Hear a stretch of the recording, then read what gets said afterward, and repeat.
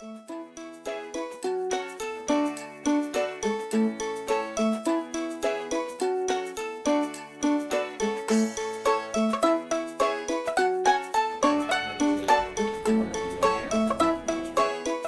Dolci comes from a derivative of my surname, which is Sanguidolce, and Dolce means sweet. I started two and a half years ago in the UK, in London, England, where I lived. A friend was getting married and I decided that I would make her wedding cake. So I picked up a book and taught myself how to make cupcakes.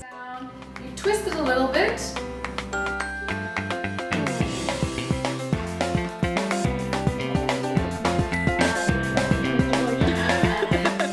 I was looking for a spot where lots of people would be able to come to easily after work and after class people go to different art galleries and have coffee at lovely little cafes nearby and I think it's a fun neighborhood to be in. We have an introduction to cupcake decorating class which is our most popular class and in this class we learn to work with fondant and buttercream icing so we use lots of different tips and nozzles and food coloring to color fondant and then pipe out some wonderful buttercream swirls.